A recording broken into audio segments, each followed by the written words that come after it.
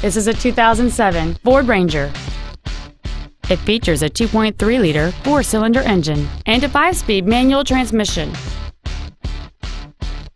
Its top features include a double wishbone independent front suspension, an engine immobilizer theft deterrent system, 12-volt power outlets, privacy glass, a low tire pressure indicator, an anti-lock braking system, a passenger side airbag, door reinforcement beams, and much more. With an EPA estimated rating of 29 miles per gallon on the highway, this automobile pays off in the long run.